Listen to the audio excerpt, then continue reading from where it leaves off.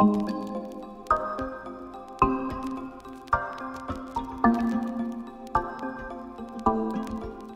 you first start playing Bioshock Infinite, you may notice that something's not quite right. And I'm not talking about the fact that everything seems just a little too perfect in the city of Columbia, nor about the cult-like veneration of its founder Comstock, though point taken. No, I am in fact talking about these windows, pretty as they may be. See, when we look straight through this window, we see a few barrels. Now this is noteworthy in and of itself. Most games actually do not show us the inside of buildings we cannot enter, but instead just show a static image as a crude approximation of being able to look inside. But the real oddities start when we go around the corner and peek into the same room from a different window. From this perspective, we would expect to see the same barrels from another side, except we don't. Instead, we see them from the exact same perspective that we had through the first window. And, if we look a little bit to the side, we would expect to be able to look across the room and straight out of the window that we looked in through just a second ago. Except, we don't. There's no window to be found.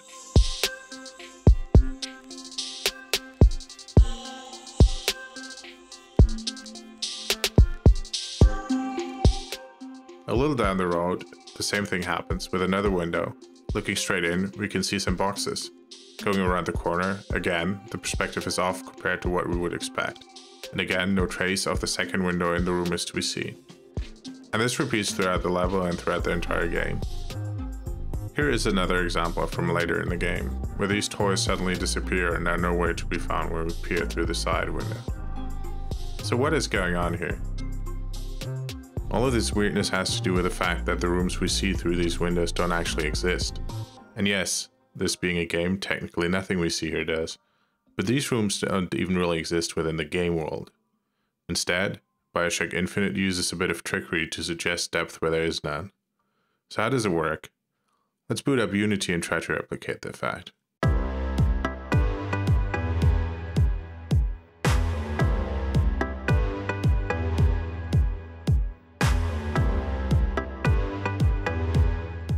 We start with a simple quad, a completely flat piece of geometry. We will use a special shader, a small programmer that runs on our graphics card, to pretend that there is more depth to this quad than there actually is. We add two different textures to our surface, one for the room's interior and another one on top for the facade and the window itself. Now if we move the camera, understandably there's no depth at all. Instead, the room texture looks like a picture glued into the window from inside. The trick then is to apply a bit of parallax to move the inside texture along with our camera movement to give the illusion that it is on a plane farther away than it actually is.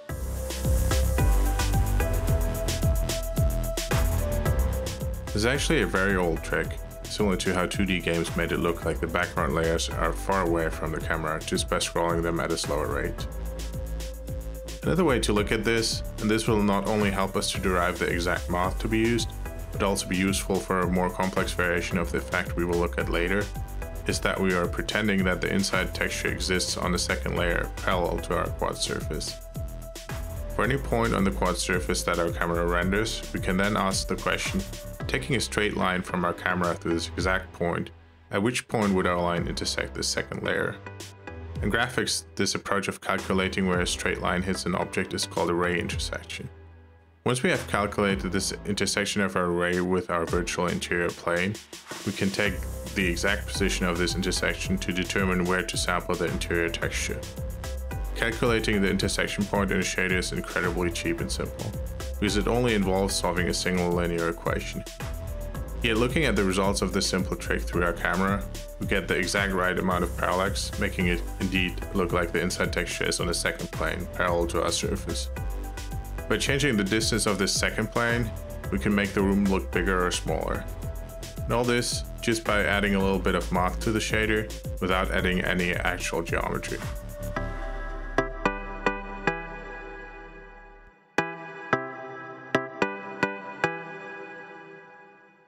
Now this explains why you cannot see in through one window and out through the other, and also why the perspectives of windows that should look into the same space do not line up because we do not look into any sort of space, just a virtual plane parallel to the window itself. Bioshock Infinite only gives the illusion of space with a little bit of parallax. One detail we can spot though is that the game uses two planes, not just one, to create more depth. We can easily add this to our own shader simply by adding a second texture on the second layer and only sampling the far texture where the near texture is transparent. Bioshock Infinite actually has one more trick up its sleeve. It even simulates the refraction of light at an uneven glass surface. This effect gives more detail and more believability to the windows. We can implement the effect ourselves by adding a normal map to our window. A normal map is a special kind of texture which modifies our surface normal, adding small details to the surface despite our use of flat geometry. Can then use the surface normal to refract our simulated rays, distorting the background layer in accordance with the details encoded in our normal map. Using this trick, we can convincingly simulate a range of different types of uneven glass.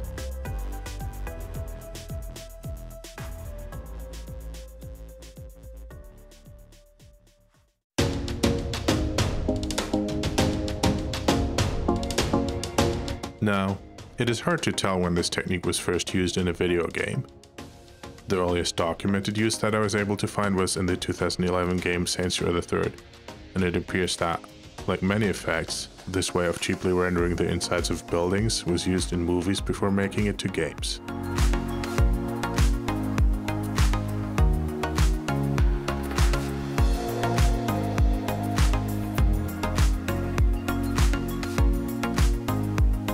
Looking at these windows in Saints Row 3, something weird is going on at lower viewing angles. They don't really need to be that low actually. The inside texture sort of pops to the window and then appears to be on the same plane as the building's window and facade. The reason why they choose to do it like this, I think, is that we get into a bit of a conundrum at lower angles. If we look at the window from a very low angle, the ray from our camera ends up intersecting the interior texture plane very far from its center we actually wanted to display something here, our interior texture would need to be very large, which it isn't. One way Bioshock Infinite deals with this challenge is simply by showing a black color where the texture ends. Saints Row instead chooses to pull the interior texture up to the window and prevents us from looking past it in this way. At least that's what I think is happening here. This way, we get some nice depth looking straight onto these shops, but just a normal glued on texture look when driving past or likely do not pay too much attention to the windows anyway. While more subtle than what happens in Saints Row, Bioshock also has a few oddities of itself. When we get real close to the window, we can see that the interior texture slightly arches around our camera. The reason for this behavior is due to the fact that Bioshock Infinite cuts a few corners in how it simulates refraction. In the real world, refraction changes the direction of a ray of light when it enters glass, but it changes back to its original direction when it exits back into air. Bioshock Infinite does not change the direction twice like this. Instead, it just simulates the change of direction when entering and keeps tracing along this changed direction. This, essentially, corresponds to assuming that the entire space between the window and the interior texture is filled with glass. It does not make too much difference at steep viewing angles, and the little effect that it does have can be controlled by lowering the glass's refractive index and the influence of the normal map. At low angles, however, this leads to major distortion. This effect is a bit similar to how light behaves in fish tanks. As an example, in this picture we can see the same plant twice through different sides of the fish tank, due to the light being affected by the water. Bioshock Infinite's technical artist was clearly aware that things get funky at low angles. If we look at the fake interior from a very very low angle, instead of being able to look inside we see this sheen, simulating light being reflected from the glass. However, when we look at another window in the same location, one which is rendered using traditional transparency instead of the fake interior shader, no such sheen is present confirming that this is not simply a result of the lighting model, but was purposefully added to hide some of the wonkiness at low angles.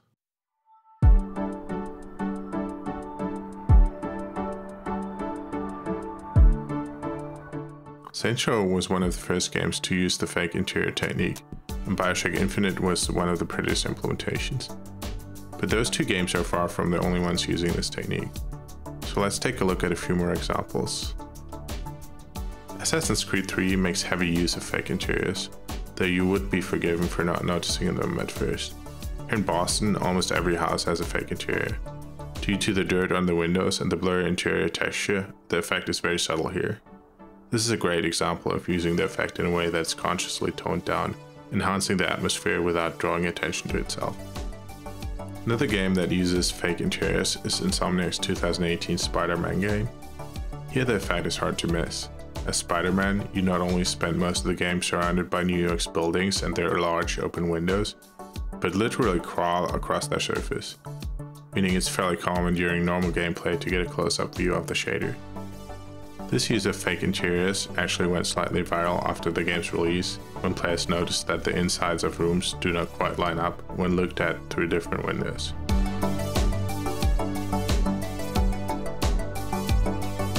One big difference between Spider-Man and Bioshock Infinite is that Spider-Man's interiors, unlike Bioshock's, feature walls, ceilings and floors. This actually is simpler to pull off than you might think. All we have to do is calculate the intersection of our view ray with additional planes, orthogonal to the back wall, and then only use the closest such intersection. To texture these additional planes, we either add several more textures or simply use one single cube map containing all the sides.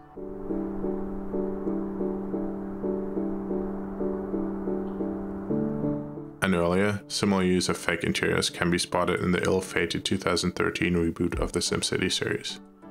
Again, we use the technique to add a bit of depth to the city's buildings, which is primarily noticeable when moving the camera extremely close. Another use of the technique that went slightly viral is Overwatch, thanks to a slight inconsistency. See, if we look at this wall on the Kings Row map, we get a slightly blurred view of the room inside, but when we move around the corner, the building's inside looks entirely different, and the same wall does not even have a window from the inside. So, why do we do this? Why do we write a special shader for this instead of just modeling the rooms inside using normal geometry and being done with it? Performance is one reason. It just would not be feasible to add geometry for each room in each building in SimCity, nor could we separately render each apartment in all of New York in Spider-Man. But there's a second, maybe less obvious reason. In several of the games in which we saw this effect used, the fake interior behind the windows is actually not a clean rendition of the buildings inside. Instead, the inside is blurred by greasy, dirty windows or distorted by refraction happening on the glass's uneven surface. Effects like this would be fairly expensive to pull off with traditional geometry, we would first need to render the inside and then, in the second pass, sample what we just rendered to blur and refract it. With the fake interior shader, pulling off these effects is both simple and cheap. To blur the inside, we simply use a blurred texture at zero additional cost. To simulate refraction, we offset the view ray according to a normal map, which is not much more expensive than any other use of a normal map, a common part of many materials used in modern games.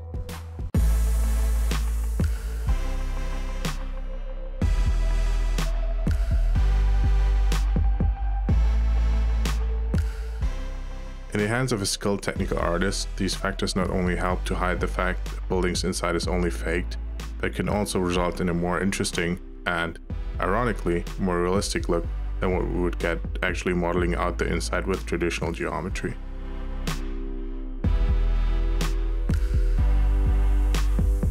A few sources have been incredibly useful in making this video. One that I would like to mention specifically is Simon Trümpler's excellent blog post.